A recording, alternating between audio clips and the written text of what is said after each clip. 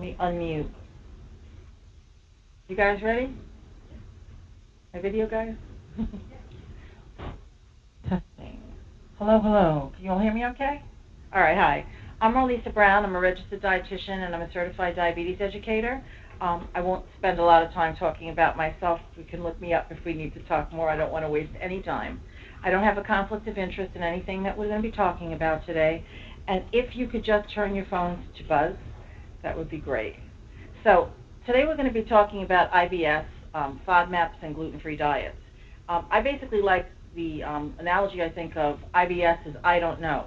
So it's when somebody is suffering from gastrointestinal issues and nothing has come up in the diagnosis, they will say that you have IBS. And it can happen for a variety of reasons, but sometimes it's not always identified.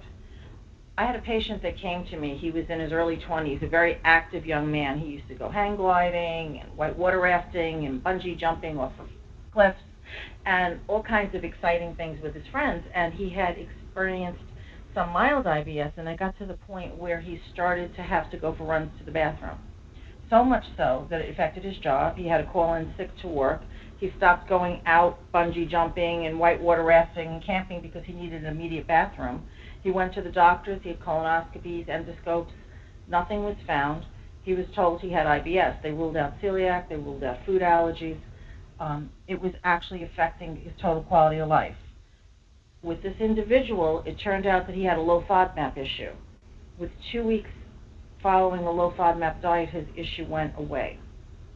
Sometimes, as a healthcare professional, if we just listen a little bit better, we can sometimes identify something that can change somebody's life. And so that's what I want to give you some tidbits today about this, and then you can always dive deeper if you like to, that might help you with your patients going forward.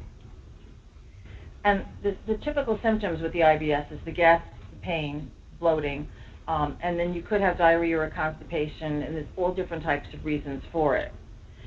When you take a look at some of the diseases that are out there right now that they are diagnosing individuals with, 50% of the people that have celiac disease will have these symptoms but 50% of the people with celiac will not. So just because somebody doesn't have gastrointestinal symptoms doesn't mean they don't have celiac disease. So that's important to know. People that have non-celiac gluten sensitivity, and I'm not talking about somebody that went on a gluten-free diet for another reason, but somebody that has non-celiac gluten sensitivity will exhibit gastrointestinal symptoms most of the time. Most of the people that have that will exhibit gastrointestinal more so than the people that have celiac disease. People that have a FODMAP related issue or fermented oligosaccharides, disaccharides, monosaccharides, and polyols, 70% of those people will respond favorably if they have IBS to a low FODMAP diet. And these are documented um, facts at this point in time. Now, many people have IBS for a variety of reasons. Sometimes it's something serious, something that can make them very, very ill right now with all the social media out there, people are self-diagnosing themselves with a lot of things. They'll see something on Facebook and they'll think that that's what I have, or they'll see something on LinkedIn that somebody's writing an article and then that's what I have. And what happens is they sometimes delay going in for medical testing because they think they figured out what they have that's wrong. And sometimes something serious can become much more serious. So as healthcare providers, it's important to be up to speed on things and kind of just feed it to somebody. You know, it's important for you to get tested. We know you may not enjoy going for these tests. Yes, but if there's something serious going on and you delay treatment, it might be treatable now, but not treatable later. Later. Now, certain things like just underlying digestive issues, it could be Crohn's disease, it could be ulcerative colitis, it could be um, diverticular disease that's acted up and gotten infected. Infections can get worse when you have an infection. Your GI system is 70% of your immune system. So no matter what's wrong with your health, your immune system needs to be up to par to be able to fight or deal with anything. So if 70% of your immune system is constantly compromised because you haven't addressed a GI issue that you have, then anything else that you're going to be treated for is also affected. So inflammatory bowel disease, you really only could be found out if you have that if they do tests for that. There's no way that they're going to determine that. They can guess, but they're not going to be sure. Um, gluten or food intolerances are sometimes done just by elimination diets, not necessarily by testing. But celiac disease is only found by testing. So that's only one way to tell. parasites, a lot of times people can have picked up a parasite and they'll think, well, where could I have gotten a parasite? And it could have been just something that they ate that wasn't washed properly that the parasite got transferred to. And parasites can cause gastrointestinal incidents. So if you have somebody that has no gastrointestinal history whatsoever, and then all of a sudden something sudden and hard hits them, and it's not going away like food poisoning, then you can think to yourself, what is it that all of a sudden made this person have a problem? And you might want to rule out parasites. And then, of course, um, and I have a photo, and we'll talk about it briefly later, small intestinal bacterial overgrowth, which is an overgrowth in your small intestine where the bacteria, the microbiome, have gone to the moon and you have too much of one thing and not enough of another, and it causes a tremendous amount of bloating and gas, and it has to be treated. If it's not treated, it stays. And you, even after treatment and you resolve the issue, special dietary considerations have to be made. And, and food poisoning I mentioned, and the FODMAPs I briefly mentioned already. So let me start with the gluten because this is the item that has been most recently, the last like 12 years, really been out there people are following gluten-free diets for a variety of reasons. Um, one of the reasons is is that the World Health Organization established the norms about how many people do have celiac disease, and doctors have been more readily testing. Previously, they thought it was a very rare disease that was only in children, only with the specific gastrointestinal symptoms that I had mentioned earlier, and if you did, and, and maybe weight loss and malnutrition. And if you didn't have that, you didn't have celiac. So doctors didn't think many of their patients had it. And so a lot of my patients don't have it, and I'm not going to be spending a lot of time on it. But one in a hundred people is estimated to have celiac disease worldwide. In the past 50 years, there's four to five times more people that have celiac disease than before. And the way they found that was, it was interesting, is that they had kept blood samples and samples that they had done of people that had been in previous wars. And they were able to take that sampling and just for the genetic predisposition, see that there was an increase in genetic predisposition by comparing what was done before with, when they checked the samples on the soldiers to today. So they know that there's four to five times more people that are likely to get celiac disease than did 50 years ago. Um, there's a lot of reasons that that could have happened. I have my own personal theory. Um, I figure if you were that sick, you probably weren't having children. And if you're feeling better now, you know, you might be feeling. Well, think about it. You're sick all the time. Are you really going? You know, all the time. People that had celiac before that weren't treated, that had symptoms, were severely symptomatic. They they might have even died in childhood because of that. It was so it was such a strong. Now we know what to do about it. So if we know what to do about it and we treat it, those individuals will be healthy and then they can have more children. But that's just my own personal. Um, they have done research and they've checked the wheat and the wheat has not changed. There's no more gluten in the wheat today than there was in the wheat before. A lot of people will say, well, there's more gluten in the wheat. They have samples of original wheat and they've tested it and there's no difference. So it's not because there's more gluten in the food supply as far as wheat is concerned. Non-celiac gluten sensitivity was only recognized several years ago. For many years, people would come in and say that they feel better on a gluten-free di- diet, and the doctors would say, well, you don't have celiac disease, so it's all in your head. And many times people would give antidepressants instead of being treated for it. But they were saying, you don't understand. I feel better eating gluten free. I feel better eating gluten free. Well, there's no reason you should feel better eating gluten free. Well, yes, there was a reason they should feel better. They had non celiac gluten sensitivity. And what that is, is an intolerance to gluten even if you don't have celiac. And we'll touch base a little bit more on that in a few minutes. And then, of course, the screenings for um, celiac disease and different types of intolerance has increased, so doctors are diagnosing more individuals. The non-typical symptoms have been recognized, and so they, they identify that celiac disease is an autoimmune disease, not a gastrointestinal disease. So a lot of times people that work in autoimmune issues that are doctors will identify it now where they didn't before. And then, of course, there's um, more research, there's more money. Um, they're looking at drugs right now where they didn't before. The drug companies felt if it was something that could be treated with just diet, it wasn't a way that they were going to make money, so that they didn't invest millions and millions and millions of dollars. If only a few people have it, and I can't make any money working on it, why am I going to do the research? There's research now, and that helps us get more solutions for the future. And then, of course, people are sometimes doing it just for fad. Um, people say, well, I'm going gluten-free because I want to lose weight. Well, if you went out and bought gluten-free pizza, gluten-free cookies, gluten-free pie, you're going to have the same weight issues that you did if you were not gluten free. Of course, if I just went out and ate whole grains um, that were gluten free, but I ate mostly vegetables and fresh fruits and fish and chicken, yes, I'm going to lose weight. It had nothing to do with the gluten. So it, it does get a little quasi with the individuals out there. And then the FODMAPs. Now, this is an interesting, I did an article um, and I talked to um, Dr. Fasano, who does a lot of the research on non-celiac gluten sensitivity for today's dietitian. And he was saying, and, and this is this was the actual whole quote, but I'll just cut it down a bit. Basically, gluten is a very large um, protein. It has more chromosomes than the human body and more chromosomes than any protein that exists. And that in anybody that's a human, which I think includes everybody here, we can't digest it. So pieces and fragments go from our stomach into our small intestine undigested. However, for majority of the people, they don't get sick from that. The majority of the people can do okay with these little pieces and fragments. But anybody that has a pre-existing gastrointestinal disorder, or let's say something that's heightened, let's say you're in an acute situation with your gastrointestinal system, or anybody that is being treated for celiac or non-celiac gluten sensitivity or a mild allergy, let's say to wheat, rye, or barley, will have a problem when they ingest the gluten. And so therefore a lot of people that may not be celiac, that may not have non-celiac gluten sensitivity, may feel better on a gluten-free diet, especially if they have a pre-existing gastrointestinal problem. So it's important to note because it's something that can be easily missed. And sometimes if it's just something that's acute, that's just happening at the minute, when that's resolved, they might be able to digest the gluten safely in the future. Now, the history um, is interesting. It wasn't really until World War II where they really got a handle on something about what was going on, and they started off with the wheat. And basically, what it was is people were starving during the war because there wasn't enough food available, especially in Europe, and there was not wheat available.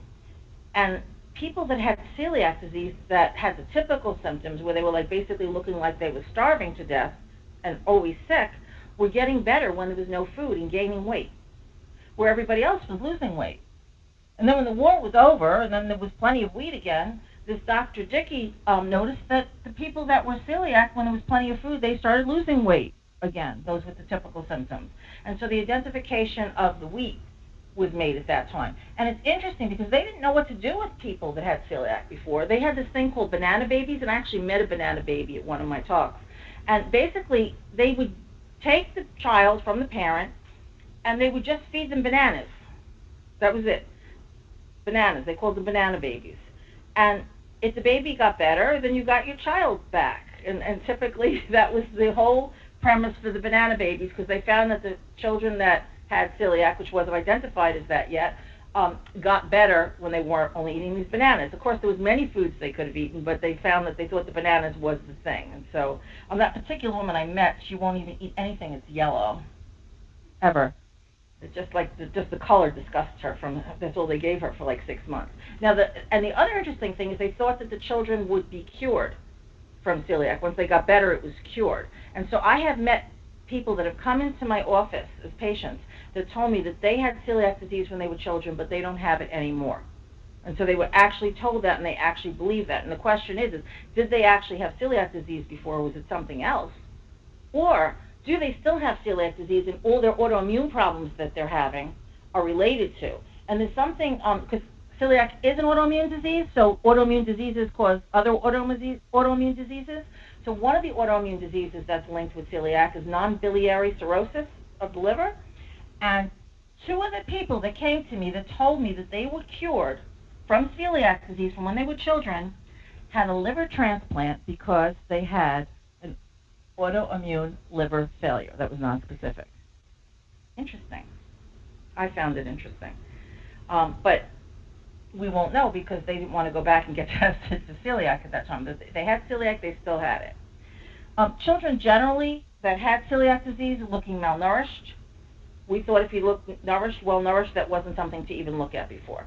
So remember, celiac disease is an autoimmune disease. It attacks you from the gut um, if you have celiac disease, you do not have to buy gluten-free shampoo.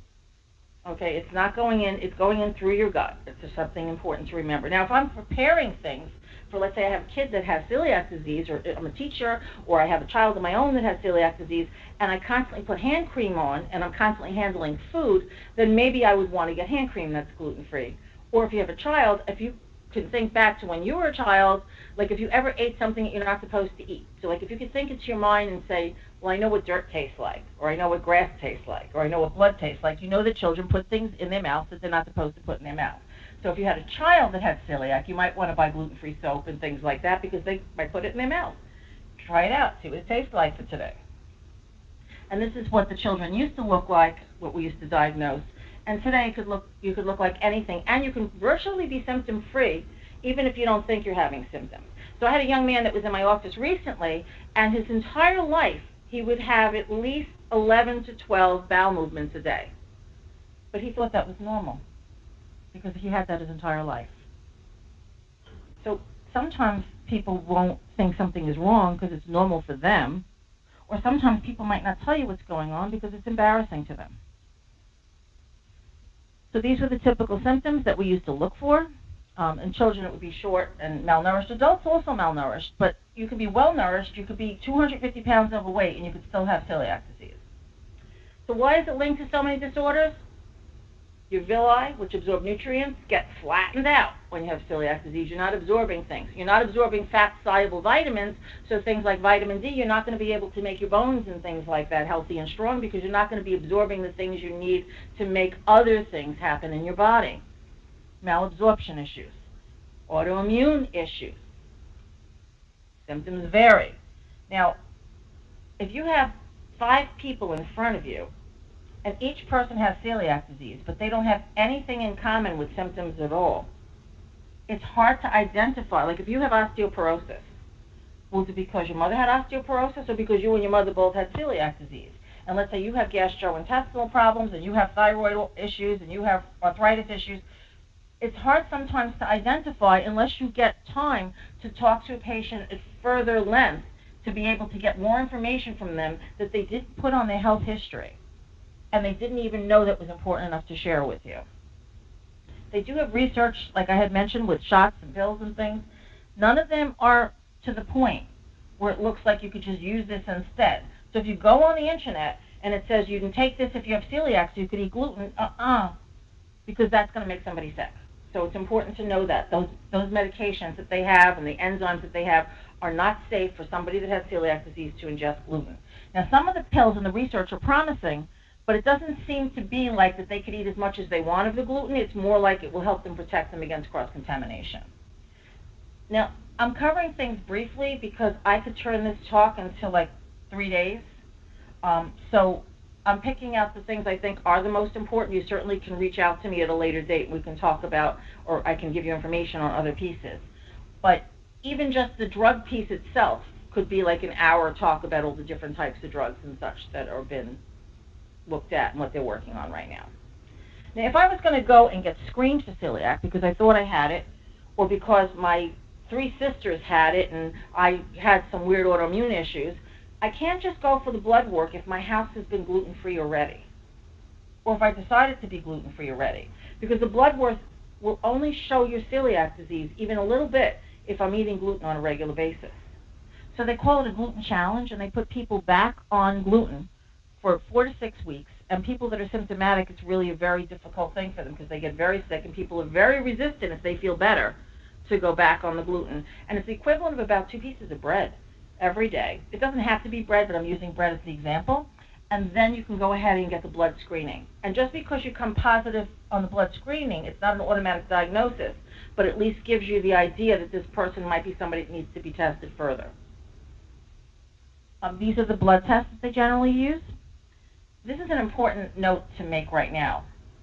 Insurance companies have large deductibles. Unless you're very, very poor or very, very rich, if you're somewhere in the middle, Many people have twenty-five, thirty-five hundred dollar deductibles, sometimes even higher, before anything is covered. If you just like randomly start ordering tests on individuals, if you're not careful on what you order, it could use up whatever money they have. Some insurance companies, even if you went in for a CT scan or you went for colonoscopy, require you to hit your deductible before they pay anything. Some people don't have that kind of money. Or they may have three kids and they prefer to use the money that they're going to spend on their kids' medical care instead of their own. So some of these tests are very expensive, and some of the labs do a better job than other labs. So the the tests that are the ones that are more specific for celiac disease, so that the lab doesn't just go and run everything, is the first test, the IgA tissue transglutaminase, and the, the fourth one down, the DGP, the deamidated gliadin peptide. Those are very specific to celiac disease. You run those two tests plus to the right the total IgA, or well, my right, your left. the total IgA, because if the IgA is deficient, it affects the reliability of the other two tests. Those are the blood screenings that are the best to use right now for celiac disease. The other tests are also used, but some of them, again, it adds up. If you run more tests, it costs them more money. On the genetic side of it, the HLA DQ2 and DQ8 are the tests that you can determine if somebody could even develop celiac disease. So if you don't have that genetic marker, the chances of you getting celiac disease are like 0.00000001. So if I had you, if you were on a gluten-free diet because you said it made you feel better, and I said, well, I'm going to put you back on the gluten challenge to see if we can test you for celiac disease, and you know, I don't want to do that because I'll get sick again. I can check you genetically and see if you have the gene. If you don't have the gene, you probably don't have celiac disease. I don't have to make you start eating gluten again. I can look at other things. So the genetic markers do two things. It helps you work with people that have already put them on a gluten-free diet to see if they have a potential to develop celiac disease. And the genetic tests also help you determine if I have anybody that is siblings or children that have the gene. So if I had celiac disease and I had three kids, and I tested my three kids for the, the gluten-free test plus the genetic test, and everybody came back negative, no celiac, but one of my three children didn't have the genes, I really don't need to worry about retesting that particular child again and again and again and again if they have a problem because they're probably not ever going to develop celiac disease. So celiac disease can happen at any time in your lifetime. But if you don't have the genetic susceptibility to it, you're probably never going to get it. And so it's something that you can just kind of look past and look at other things instead. So, and then again, I'm going to do the diagnostic um, criteria here, and then I'm going to go on to the non-celiac gluten sensitivity. So when you test somebody for celiac disease, the gold standard is an endoscopic procedure. And you need to take enough samples from the duodenal region of your intestines to be able to find it. Because it's not something that's always visible, and if you don't take enough samples, it's spotty like a rash. If you don't take a spot where the rash is, you're not going to pick up the celiac disease. So if a doctor goes in and does an endoscopy, and let's say just takes one sample, let's say in the esophagus, and two samples in the stomach, and one or two samples in the duodenum area, is a potential that you could have celiac disease and still be missed. And to take it one step further, after the doctor does the sampling, even if the doctor took enough samples, if the pathologist that reads the reports isn't a GI specialist, there's a potential that it could still be misdiagnosed. So some people have gone for years and years and years and years, even though they went into testing, because somebody that was testing them, one person, the doctor did the right thing, he took enough samples, but the pathologist wasn't the right pathologist for the job. Because sometimes there's generic pathologists that read lots of reports, and sometimes there's just specific pathologists that specialize in gastrointestinal disorders that are better reading those reports. And this is what the villi look like when they're flattened. And interestingly enough, they used to look for it where it was always like the skating ring over here. It was just totally flat. But they found there's different Marsh standards, and even partial blunting is still villus atrophy and is still a diagnosis of celiac disease. But the old look was if it's not totally flat and it's not celiac disease. And still, a lot of people are being misdiagnosed because of the healthcare provider that's doing the test may not necessarily be up to speed with the Marsh standards. They're getting better though because of the World Health Organization and the research and everything else. So let's say I have IBS. I have I don't know. I don't know what I have. I have something, but they don't know what it is, so it's IBS. And they tested me for Crohn's disease. They did the colonoscopy, and they tested me for, and they did an endoscope, and they tested me for ulcerative colitis, and I got tested twice for celiac disease, and and they did a CT scan. Nobody found anything. So I decided, because I saw on Facebook, Anybody like Facebook? No. I'm just using that. People come into me and say they read on Facebook. Somebody told them on Facebook. Somebody told them on LinkedIn. Somebody told them on Instagram. Who is this person that's telling everybody everything? They don't know anything. That they're telling everybody everything. So I looked it up and I saw that oh I should probably not eat gluten. I have no idea what I'm doing. Let's say, and I stop eating gluten. I feel better. I could have non-celiac gluten sensitivity. I also can have FODMAP issue because FODMAPs are high, gluten is a high FODMAP item. So one of the FODMAPs is gluten. So when I take the gluten out, am I non-celiac gluten sensitive or do I have a FODMAP issue? Interesting item. Now, I will tell you, I do my own thing when I'm working with the patients, because I will tell you, in the 25 years I've been in practice, people keep lousy diaries. diaries. If you tell people not to eat things, you make something up and say is what you're going to follow, they substitute on their own. Even though you say you got to follow just this, this is exactly what you got to do. I want you to do this for two weeks. You have to do this. They'll come in. You'll say these are the five fruits you can eat. They'll eat other fruits. They'll yes, yes, I'll definitely, absolutely, I'll follow. I'm going to be strict, absolutely. If they eat fried chicken, they write down chicken. If they eat grilled chicken, they write grilled chicken. They leave, they, they write their journals the way they like. And so it's very hard, like on the elimination phase of the FODMAPs, which we're going to talk about in a few minutes, to be able to identify if somebody's not doing what you tell them to do. Some people will lie to you and say they didn't eat it because you told them not to, and they don't want to tell you that you didn't. You know, you got to be like really non-straight faced. You can't like make faces and roll your eyes or things because people won't tell you the truth. But they might lie to you anyhow. So just know that there's different ways you have to work this to sometimes figure things out. So I sometimes, if I feel that I want to identify the difference between celiac and, and FODMAP, the FODMAP elimination is much greater. I might give them a 100% gluten-free diet that falls into the foods they like for a week and make sure I address the major sources of cross-contamination so even one crumb is enough to keep somebody sick with non-celiac gluten sensitivity.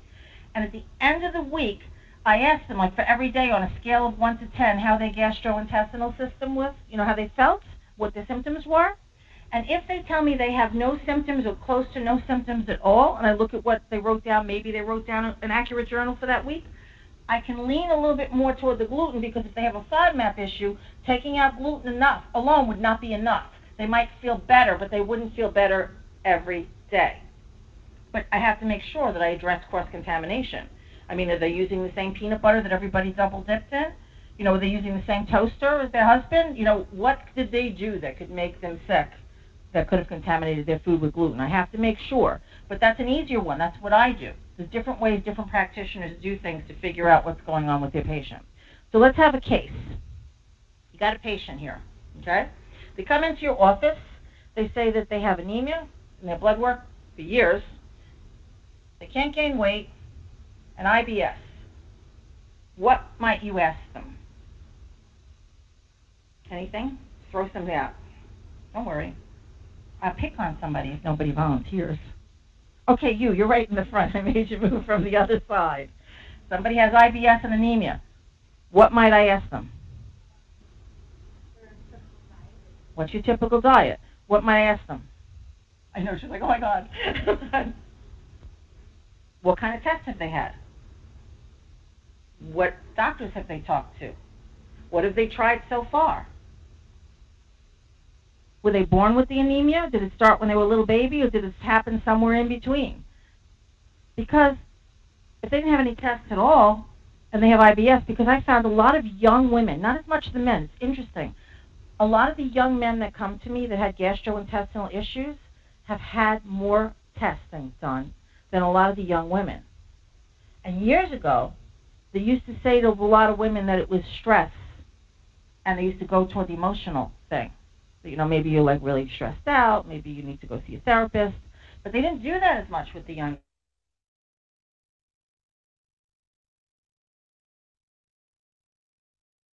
And they're a young woman and they look healthy. Most of the time, they haven't had a lot of GI tests unless the symptoms are severe.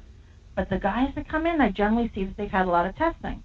So I don't know if it's just a mindset about women and men. I can't tell you. But I know that I've seen it because I've seen over 20,000 patients in my office since I started my practice, and you notice some things that are generalities.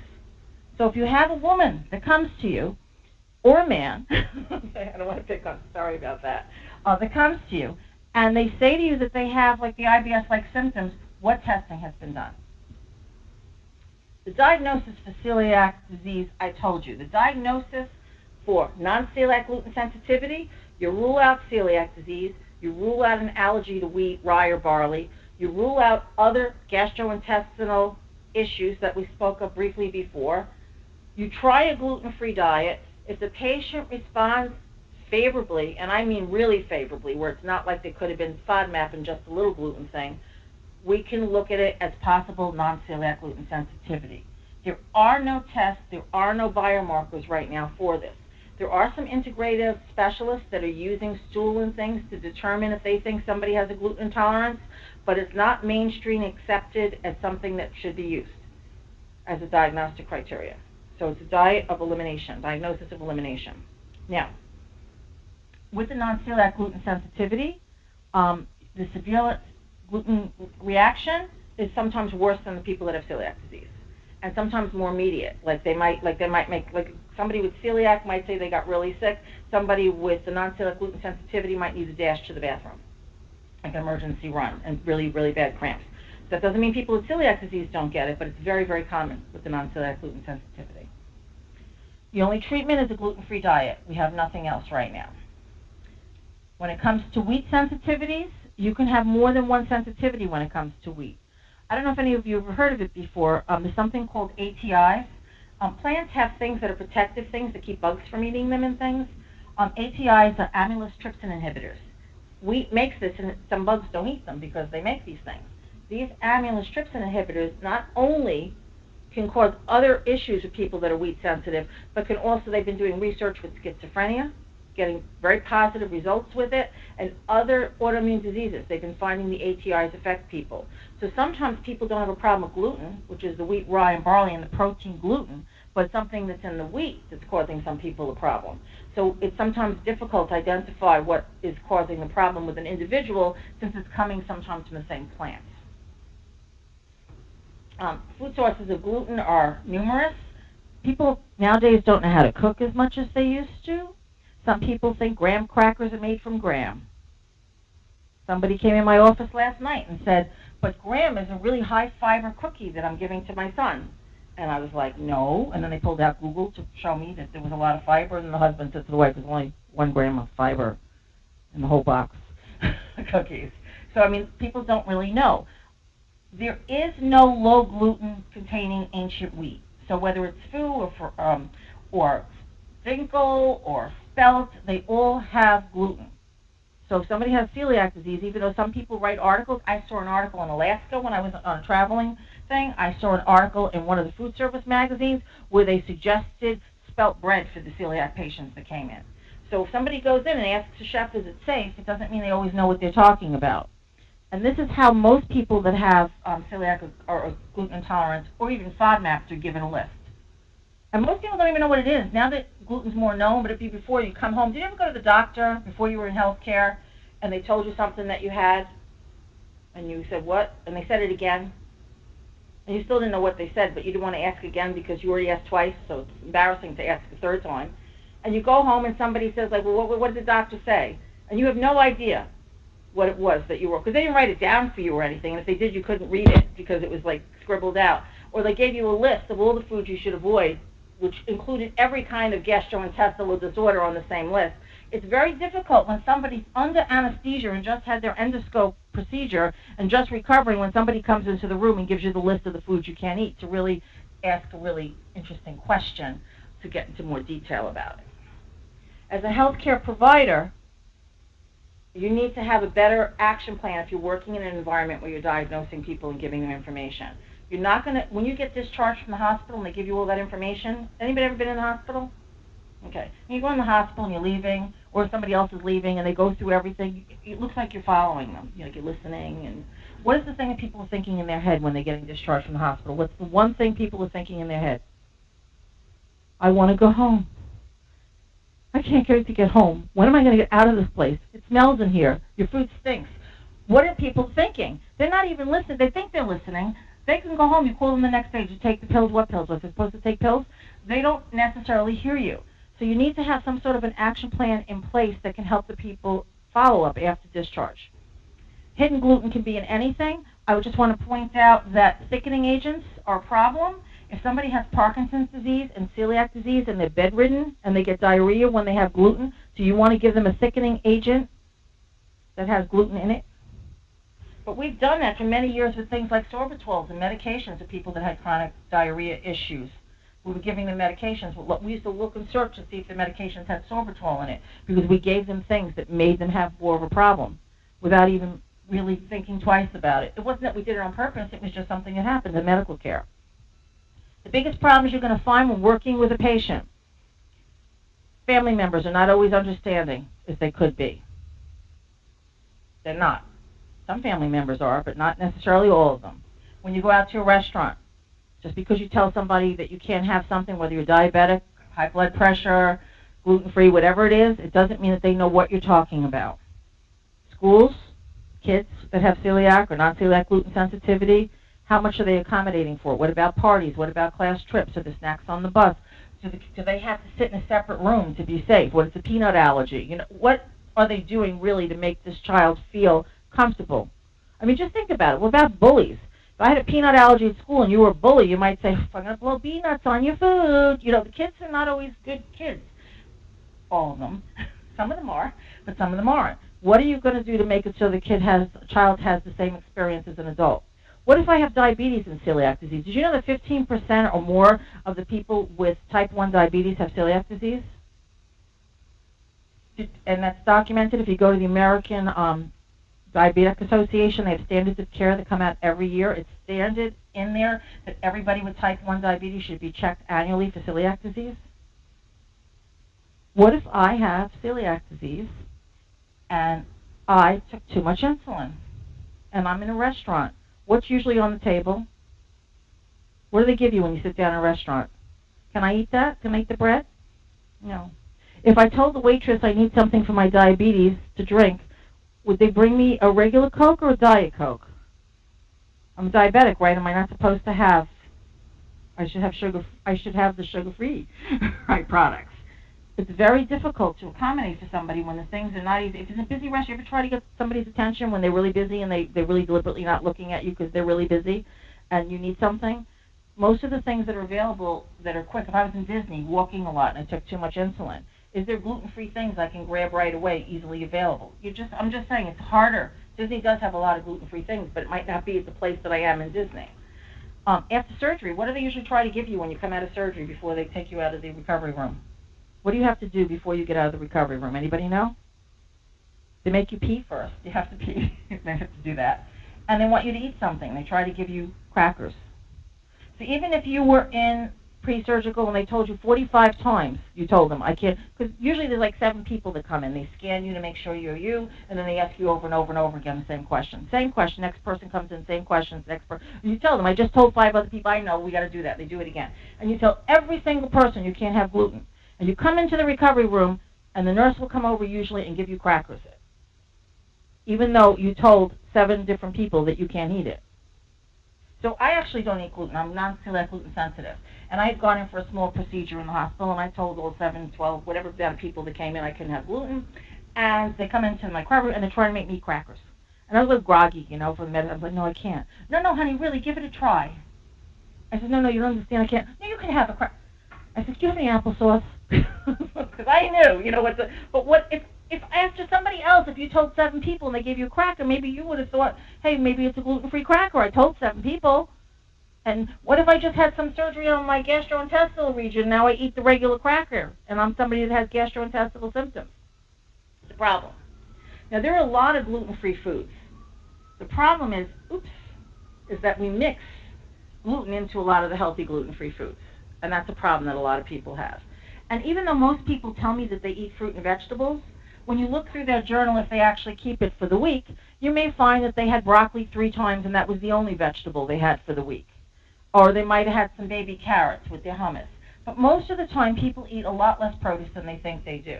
And so even though produce is safe, but you know what? If everybody else is having cannoli cake, maybe I don't want like a fruit salad at the end of the wedding. And so that you get sometimes we have found in research that um, people get sometimes angry and depressed and don't go out and don't enjoy events anymore because they don't know how to make accommodations to make their life better. And as a healthcare provider, even if you're not the specialist, you can refer them to somebody that is that can help their life better, even if it's a support group. Like um, the Celiac Support Association, and I'm on the chair of the local group for the gluten intolerance group. They have support group people that will help you tell you what to do to get through these situations so you're not depressed and that you do go out and you have fun like everybody else. And just keep in mind that um, gluten-free um, diets where they make those cookies and pies and everything, a lot of times they're just putting starch and unnutritionally valued foods to make those cookies. They'll use cornstarch and potato starch and other things to lighten up those dense gluten-free flours, and you could throw that food against the wall if you didn't put those things in there, but it's not as healthy as the whole grains. There are plenty of gluten-free whole grains, and again, I'm happy to share more with you later on this. And tapioca, even though it's a starch, does have fiber in it, but in general, if you don't have a variety of gluten-free grains, you are definitely getting nutritional issues that you're not having enough food with healthy things in them. And important to note, in this country, we fortify wheat with iron and folic acid, but most of the gluten-free products are not fortified. So the people that are celiac eating all packaged foods may be more likely to have some sort of deficiency because of the fact that they're not getting the same amount as everybody else. And then as far as, I just want to make quick notes on this, on molded cheeses, they used to say not to have it because to make blue cheese you feed it bread and it that's how you feed it. But it's just like a cow. A cow, if a cow eats wheat, it doesn't mean that if we eat the cow, we're eating wheat. We're eating cow. So the cheese eats the wheat, so the cheese is okay. But a lot of times you'll go to a restaurant and they'll say no blue cheese or something because they read somewhere that it's not safe. The molded cheeses are safe to have. The ditto for the oats. The problem with the oats is cross contamination. They grow them in the same fields. They put them on the same equipment. They transport them in the same machines. And so therefore oats are generally contaminated unless you get certified gluten-free oats. That's just something to know. Um, we have foods now that are labeled for allergies. The eight common, most common allergies are labeled, but that's only on food that's on packaged on the shelf. Meat and fish and things like that do not have to be following the FDA guidelines. They follow USDA. So it's recommended that USDA products follow the guidelines of the FDA, but they don't have to list allergy ingredients on their label if they don't want to. So if you see something that has a lot of ingredients in the meat aisle and they don't have any allergen declaring statements there, that means they're not declaring the allergens. It's not a safe food for somebody that has a food allergy, wheat allergy, gluten-free allergy, gluten sensitivity, unless they call the manufacturer. Now, I don't always say like use Google or something like that, but if I Googled are M&Ms gluten-free, it will usually take me to the Hershey's website, and it will say, oh yeah, they are. Okay, so that's one way to use Google effectively. You know, what if somebody brought you stuff and they said, I got this just special for you and you want to do a quick check? You know, might not always be able to call. And so then just consider, this is one other point that I just want to make briefly, is that gluten-free labeling laws are intact right now. However, um, not all foods that are gluten-free have to be labeled. It's elective. So there's a lot of products that are gluten-free that are not labeled gluten-free. Gluten-free products that are labeled gluten-free are supposed to be less than 20 parts per million contamination of gluten. However, testing is not mandatory. So it is possible that somebody could buy something that's gluten-free that the manufacturer didn't test and it could still be contaminated. So if somebody looks like they're being really careful and still being sick all the time, then get temporarily only certified gluten-free packaged food, see if they get better. And if that's the case, then you know something that they're having, that they're buying, has not been tested or or is not safe for gluten free. I know it's a terrible law like that way, isn't it? I mean, you have to be less than 20 parts per million, but only if you get caught, you're going to be in trouble. So if you don't want to test, so like if I went out, if I was not knowledgeable, and I said, well, I'm only going to buy rice flour to make my cookies, so they're gluten free, and I'm going to label it. What if my rice flour was contaminated? Okay, I'm not testing my product, but I'm labeling it gluten free. So it's, it is a problem in some cases. There are certification groups that certify by testing the gluten-free product. So if it says certified, you know it's been at least tested. I just wanted to go through that. Let's quick, quick patient, then we're going on to FODMAP. Somebody comes to you with celiac. They follow a gluten-free diet 100% of the time. They're always sick. What questions? Somebody? Where do you get your food? Sure. What else could you ask them? They're autistic all the time. Was there any other problems going on? How safe is their food in their house? Are they contaminating it? Um, I've had several people that came to me with celiac and FODMAP sensitivity at the same time. What do you do in meal planning? Most people like to eat the same things over and over and over again. Change is not easy. If you've ever tried to change something, whether it's biting your nails or not biting your nails or um, go on a diet, it's very difficult to change. People get very sad when you take away their favorite food, especially if you tell them ever, you can never, ever, ever, ever, ever, ever have this again. Usually, if somebody tells you you couldn't have anything anymore, you want it more. Something to consider. It's better for persons in RD when they do gluten free. Um, I gave you something on certification on FODMAP. You can get certified in areas for gluten. You can get certified in areas for FODMAP. Um, just because somebody's a dietitian doesn't mean that registered dietitian knows a lot about gluten. So the, the more important thing is make sure the person that's helping them with the diet is somebody that really knows about the diet. So even a support group member might be better than a dietitian that doesn't know enough about gluten. And, and I don't mean to say it that way, but there's been a number of times that there's been issues that, that have come up, so I know that that could be a problem. Make alternatives for a person that comes to you that are aligned with the food that they like to eat. That's the most important thing you can do. Make a list of places they can go that they can get similar things that they enjoy. If you don't know it, ask the local support group person to put that together for you. They're happy to do that for you. Um, there's lots of things you can use: gluten-free flour, gluten-free broths, salad dressings, condiments, gluten-free breadcrumbs in the freezer, gluten-free bread. There's not a lot of things you need to make the food gluten-free. You just need to teach somebody or have somebody teach somebody how to do it or where to get it. I made these different foods. They're in one of my books. Um, I can just see these are all gluten-free foods that were prepared. Those are the garlic knots. Look at those. Yum. They, they were good. I did a demo with this at ICE Culinary School, and I stuffed them with prosciutto and uh, mozzarella cheese. It was culinary school. This is for when people tell me they don't like fish except it's fried. I show them if they can do fish that's not fried. These are pigs in a blanket that actually taste like pigs in a blanket. I want you to know I made enough of those pigs in a blanket to give samples out to 100 people for one of the gluten intolerance group meetings. There was only 30 people there. They ate everything. They even took the dough I was using at the demo that I touched and had on the counter to take home so they could make more. Okay, when you give them something, even though this is not considered a gourmet item, something to somebody that can't have something ever, and you give them something that they liked before and they didn't have anymore, they are going to town. That's a problem too. If you never get dessert, you finally get it, you want to eat it more, and that's a problem. So if we can give them things on a regular basis, it will help them with healthier eating. Um, again, that was a pesto sauce, that was a cream soup, this is a scone, that's a pumpkin pie, all gluten free. So cover up things for all meals, events, dining out. It was Thanksgiving last week. Imagine if they bought a, a, a turkey that had gluten in it even. You couldn't even have the turkey. Self-basting turkeys have gluten. Like, I'm not going to say a brand. I'll tell you after. This is that cracker thing I told you about. And these are other issues with the hospitals and, and outpatient. Hospice doesn't have special. Now you could say, well, somebody's dying, they're not going to eat much. Some people go into hospice because they have a life-threatening illness that's that they feel that they're going to die within a six month period, but they have when they have a bad incident, sometimes they end up in the hospice center. But sometimes they live a lot longer, and they're not able to eat because the people that are volunteering to bring in the food don't always know what to do to give it to them. Imagine getting sick when you're in a hospice environment to try to resolve an issue. Meals on Wheels, institutional eating, they don't they don't cater to these things. Um, imagine if you went into the like the local hamburger place and asked them what they fry in the oil. I mean, some questions and answers you get back from health um, for people in restaurants is not always nice. One of my patients went to a restaurant. I won't say which type.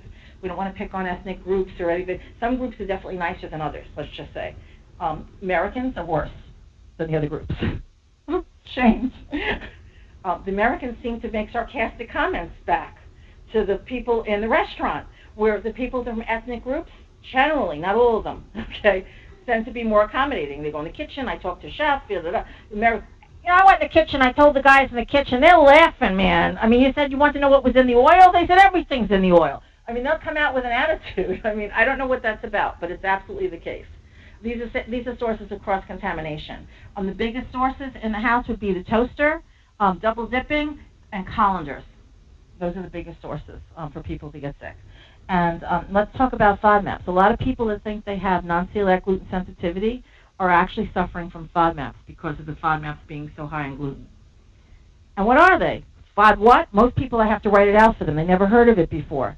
And it's basically carbohydrates, simple carbohydrates, you know, single or double grouped carbohydrates. And these are the different categories. And most of us are familiar with the disaccharides of lactose. Because a lot of people have had lactose. And we've come up with a pill for lactose. So it'd be great if maybe we, in the future we can come up with a pill for some of the other FODMAPs, but they're not there yet. The oligosaccharides, I mean, they make fun of these things in the movies sometimes. The beans are the galactose really, really high in oligosaccharides. So if somebody comes into me and they always had IBS and they tell me, especially when they have onions and garlic, clue, or somebody tells me that they can't tolerate gluten, they don't have celiac disease, but they still get sick, especially when they have Italian food, big clue. Not everybody is sensitive to every category in FODMAP.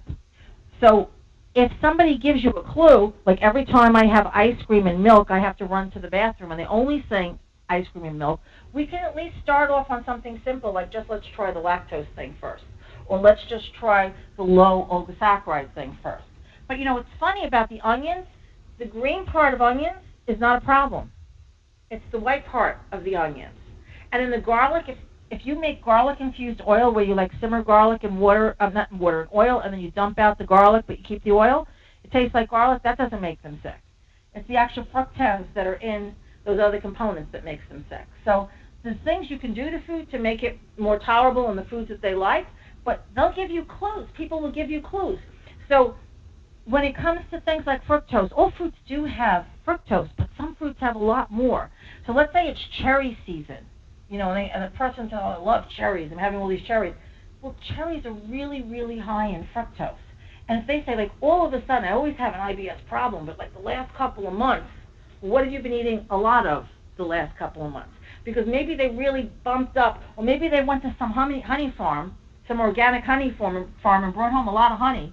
And even though they could tolerate a small amount of honey, now that they got like 25 jars Costco size in the house, you know, you know when you get the Costco size, you eat more.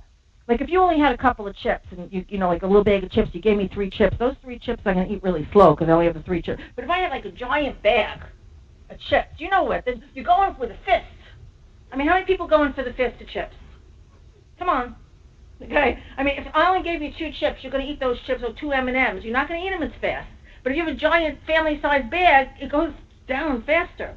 So when this cherry is a watermelon, you know, like a lot of it in the house, ready to go, and all of a sudden somebody's telling you that they're getting sick all the time, what have you been eating a lot more of lately?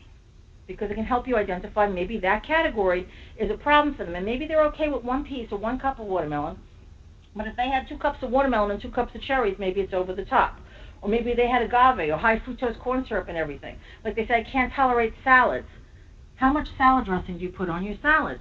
A lot of the salad dressings have a lot of high fructose corn syrup. It's a clue. So the clues help you get to a place, and sometimes you can just take out one thing instead of the typical thing about taking out everything. These are polyols. Notice that most of the polyol foods have stone fruits. The stone fruits here, like the apricots and the um, the avocado is not a fruit, but it's a stone.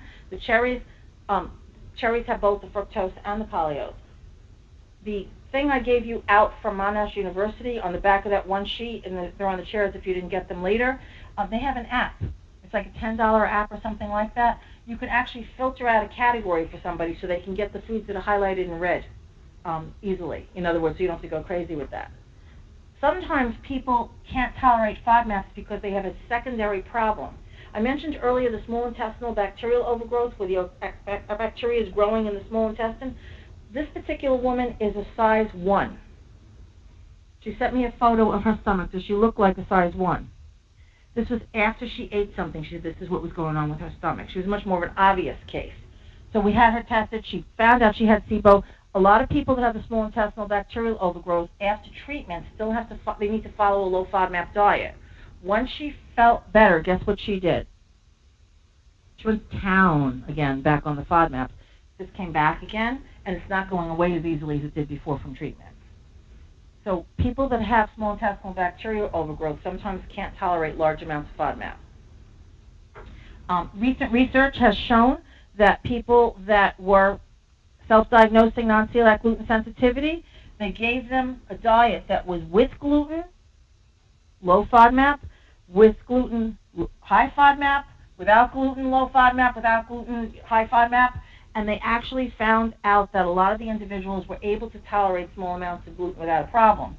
It was really the total FODMAP that they were having a problem with. And it was probably the category, because you notice back at the oligosaccharides where the garlic and the onions were, was the wheat, rye, and barley was there also. So it's just interesting.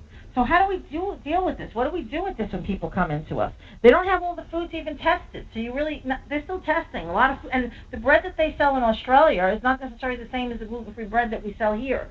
Most people that have a FODMAP-related issue will generally follow a fairly low FODMAP diet, even when they identify the problem, and then really watch the one category or two categories they're sensitive in.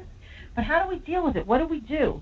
I mean, the FODMAPs, when they have a problem, it kind of like pulls water to the gastrointestinal. Real problems with gas, real problems with gas, and bathroom-related issues. I mean, certainly rule out something serious, as we mentioned earlier. If somebody's bleeding, or they lost a tremendous amount of weight recently, or they're vomiting, or they have like other really se- severe symptoms, don't start playing around with diet. Make sure that they get medical care. Some people don't even know that they moved and they have a new doctor. They don't even they just go to urgent care. Nobody's following them regularly. You need to make sure somebody helps them find a doctor. Search online for local doctors and find somebody that takes their insurance. Encourage people to get the right care. When somebody has a FODMAP related suspected issue. There's different ways they do it. Sometimes they just go to the doctor and they give them a list of all the FODMAPs and say, don't ever, don't eat these anymore. And it's huge. It's all those things I saw on that list I showed, every little one of those plus.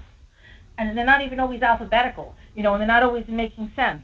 Patients don't know what to do with that. We can take out the foods that they're sensitive from and put them back one at a time. If I think it's lactose, we can take it out and then we can put it back and see what happens with that.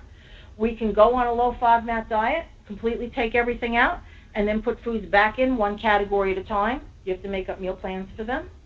We can keep careful records with an individual if you get somebody that's good at that, and then review the records and see where they isolated things that they're having a problem with. They do have breath tests for FODMAPs. The problem is, is some people come up positive but don't have symptoms. So you know, you can't just do the breath test and say, okay, don't eat fructose anymore, because that person might be able to tolerate it. So let's say you have a patient, they come to you. They got that huge low FODMAP list from their doctor. They said this is what they were told. What do you tell them? What do you help them with? Well, if it's a huge list and they can't follow it at all, you can make up a simple meal plan for them that you make up yourself, you know, based on what they usually like to eat, that's low FODMAP and say, just eat this this week. And then next week I can add one category in. Most people wait two or three weeks like that. They tell you to wait two or three weeks. Most dietitians that specialize, most patients don't have the patience to do that. So if you want to do one week, and then I'm going to add back, let's say, some of the oligosaccharides and see if they react. If they told me, they gave me the clue and said they can't do onions, I might say, do me a favor. Try some green onions with your salad. Tell me if you have a problem with that.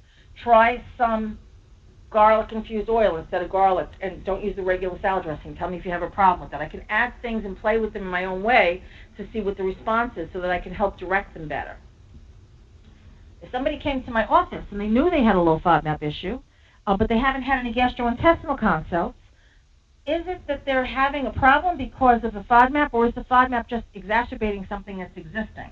So if they're having any of those other symptoms that could be dangerous, you want them to get tested further. You want them to go to the doctor. I understand colonoscopy isn't like the first thing. I can't wait. I'm going on Friday to have a colonoscopy. I mean, people are really looking forward to that, excited to get their colonoscopy. People complain about the not just the procedure, the the the pre the prep. They don't want to do it, you know. So you have to like try to like negotiate with somebody to get what you want. Like say, don't offer them horrible results. Don't say, say, look, we really want to make sure that it's nothing serious so this way we can, if it's something going on, we want to take care of it right away. You want to try to negotiate with them. People have a right to do whatever they want. And so our jobs are to try to get them to be either happier about what it is that they have to do or make them want to do the things that they didn't think they wanted to do.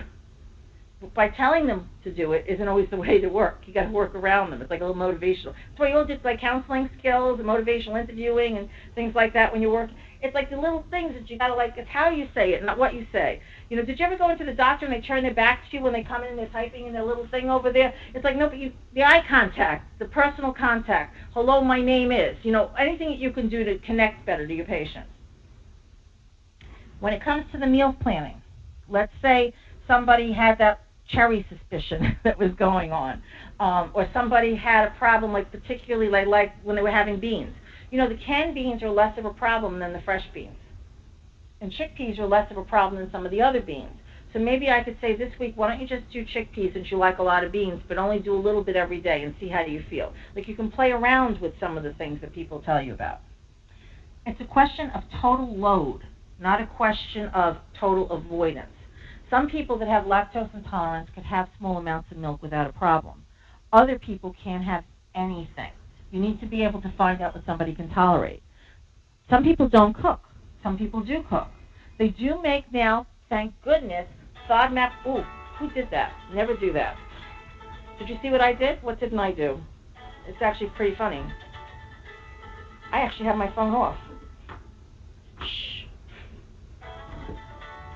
I'm an old person now, so I don't have the skills that a young person has to easily do this with one hand. So this will be good for my video, what to do and what not to do. Um, the garlic infused oil, homemade salad dressings, they now have happily low FODMAP salad dressings, tomato sauces, packaged bars, and foods, drinks that a low FODMAP that we can recommend to patients. There's companies that are selling low, just like the gluten thing started to go. There's a lot of companies now. When I went to the American um, Dietetic Association conference a few months ago, they were talking all over the place on the exhibitor floor about different products if they were low FODMAP.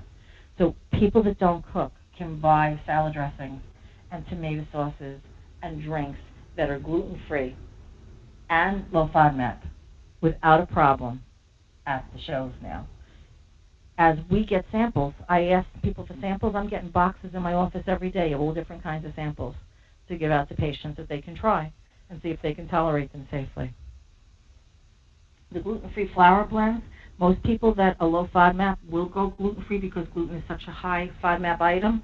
So they'll generally order gluten-free breads and flours, but you might see them when they're in a restaurant. They might take a couple of spoonfuls of somebody else's pasta, even though it had the garlic and the regular pasta. They might eat half a piece of a bread because they're not celiac, they're not non-celiac gluten sensitive. They just have to reduce the amount that they're having. It is the thing about the total load. And so when it comes to lower FODMAPs fruits and vegetables and lower FODMAP sweeteners, if a recipe calls for honey or agave, I could use maple syrup. And interestingly enough, white sugar is actually safer than brown sugar. Um, the artificial sweeteners, the sugar alcohols, are a real problem So you have to just watch out for that. Alcohol, like margarita mix, probably high FODMAP. Um, the beans, like I said, the canned beans are better. Individualized for each person. So here's a recipe. All right, this is the only homework thing that we're going to do now. Ready? What should we take out to make this low FODMAP? Anybody think of anything here? The onion, yes. We'll put green onion, right? Instead. So salt, pepper, cilantro, feta cheese is only a little bit in there, not that many olives, some lemon juice. Sun-dried tomatoes are a little concentrated, maybe. Maybe we could do cherry tomatoes if they have a problem with that, you know, because it's concentrated like a fruit almost, like a dried fruit. And that's that's what we would do. What about the next recipe? We have some risotto here. Olive oil, shrimp, sea salt, black pepper, onion, okay, garlic, the garlic infused oil. Rice should be okay. Wine should be okay. Chicken broth. The peas, sometimes it's in the bean category, but there's not a lot here a little bit of Parmesan. I really think that if we just went with a few items, the onions and the garlic, we should be okay. The honey glazed carrots is a little recipe, but what's in there? We've got the brown sugar. We could do white sugar.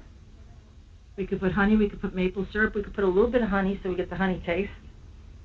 And that's it. So it's not really that horrible. This is one that's got heavy stuff in it, lots of recipes. It's got green onion already. It's got carrots and it's got celery and it's got potatoes and it's got crab meat. The half and half. Some people might have a problem with that. Some people might not. You could use rice milk. You could use almond milk, unflavored. you know, the unflavored one. Vanilla wouldn't work. Um, but when you look at it, we could use coconut milk. We can change things. We don't have to give it to like when I did this one book. I'm gonna probably give one out when we're finished to whoever wins. Um, I took all FODMAPs out of every recipe as a suggestion, you know, like for modifying. If I have a problem with just one category, we only have to, if I only have a lactose intolerance, we only have to take out the lactose. If I have an oligosaccharide, I could reduce or eliminate the oligosaccharides. I don't have to take everything out, but all the FODMAP cookbooks take everything out. So you can identify if a person doesn't have a problem with something and tell them it's okay. Um, remember that a lot of the dietitians that specialize in FODMAPs will tell you three or four weeks without the FODMAPs to let your bowel and your, your gut rest, and then they'll put the things in. Most patients will not do this, even though they say they will, unless they are severely ill. Um, if you introduce one category at a time, you give patients a safe list of FODMAPs. You have them try to keep a journal and mark whenever they have a GI reaction. You can even have them circle things on a list of high FODMAP foods of what they think the problem is. It helps you resolve issues for them. You always want to try to identify the foods that have the reaction. Um, it's all a question of the load. There's lots of resources out there today. Um, I like um, a lot of things from Australia, from Monash University. I like Patsy Catsos' items. I gave this information to Anne so that she could share that. You know, it's on the, the material I sent. Um, there's also, I like um, Kate Scarlata has some good pieces. She had, a, um, Anne had something that she sent to me that was terrific piece that I took a look at that looked like a nice piece. There's a, a million places that have information on how to do meal planning and recipe modifications for people that are low FODMAPs. Ditto for the gluten intolerance. They have free kits they give out to people that are newly diagnosed. Schär has a lot of um, kits that they put out. Um, there's, there's organizations that do research on, on different types of studies. So if I went to, let's say, Columbia University is in Manhattan, they have a big celiac research center. They have all the research that they're looking at currently, information available on their celiac website um, the, the Sprue, the Celiac Sprue Association, the Gluten Intolerance Association. If I was going to go to Kansas and I wanted to have some go out to eat, I could I could text message or email the president of this group and say, could you help me? I'm going to be in the area. What could I eat? They're helpful. Um, there's an app, Find Me Gluten Free, for people that are looking for restaurants that show restaurants all over the country. A lot of the restaurants that are catering to one thing will usually try to accommodate other things if you go into a restaurant and they don't want to accommodate one thing, they usually won't accommodate anything. They're like very difficult. Like if they're difficult, they're difficult across the board. If they're helpful, they're helpful across the board. So that's important to know. You can ask more questions to a restaurant where they're caring and they're helping you than you will somebody that doesn't even really act like they want you in there. And these are again some support groups and such. And there's the Columbia University, and there's also they have all different universities. They have in Maryland, they have in Virginia, um, a couple of groups they have in Chicago. Um, there's Dr. Guandalini, there's Dr. Green, there's Dr. Fasano, major, major doctors that are doing research and are well um, known in this country and in other countries. Some of the other countries are better than we are, I must tell you. Um, and then these are just some of the things I'm going to actually give you guys a chance to win the cookbook. But I want to know if there's any questions from anybody here. I know, yes. Oh wait, you know what? Wait, Anne, let's let's have let's have some. Here you go. This way we can at least see what they're saying and make it the most out of it for them. This on? For patients who are following the FODMAP diet long term, do you ever see any issues with like micronutrient deficiencies since it's so restrictive? Yes, so that's a very good question, and that's that anybody's question would be good. That's a good question because the complete take out all FODMAPs is bad because the microbiome that lives in your gut needs to feed off of that. And what we've been learning is the microbiome is important for like almost everything. So you want to identify which categories only that a person has a problem with, and you want to be able to figure out what the load, how much they can have in that category. Because if you take everything out and you leave everything out, you're not feeding your microbiome in a healthy way. So yes, there will be long-term issues with the healthy bio, the microbiome that lives in your body, if you stay 100% low FODMAP. It's not a safe thing to do long-term. It's not going to kill you, but it's not going to make you a healthier person either. So that's important. Yes. Oh, by the way, while we're doing this, my person that I made move. Um, why don't you pass this around? Tell people to write their name in it, and then I'll pick, I'll pick out a winner, and somebody will get a free gift. If you have a card, you can put your card also. Okay. Go ahead, I'm sorry. Any other questions? Does any, yes. For the first step for a person that is experiencing anything is to do a low FODMAP diet and then introduce per category. So the first step when you're looking at FODMAPs, Yeah. so depending on who you talk to, there's two ways you can go. Number one, take them all out, leave them off, make a meal plan with all the FODMAPs out, pick one category at a time, and add one food from that category and then two foods from that category, and mark GI responses until you see which areas they seem to be able to tolerate more in, and then just worry about the areas that they have problems with. Because usually it's total load, but sometimes it's more than one category. What I do is I usually take out gluten and dairy for like a week because dairy is also hard to digest and see if their symptoms they still have symptoms or if there's just a mild reduction or a major reduction in their symptoms because it might be just something simple like a lactose intolerance or, or, or just an issue with too much gluten in their diet. If they feel better but not 100%, then I start eliminating more. Um, sometimes people will just tell you what they're having a problem with. They come in and they say, I can't eat this or I can't eat that. And then what I'll do for those individuals is I'll just take out the category that it looks like they're having a problem with. Like I might, like they said, they can't, they say I get sick every time I have onions and garlic. I'll switch to the green onions and the garlic infused oil and tell me if they have a problem with that.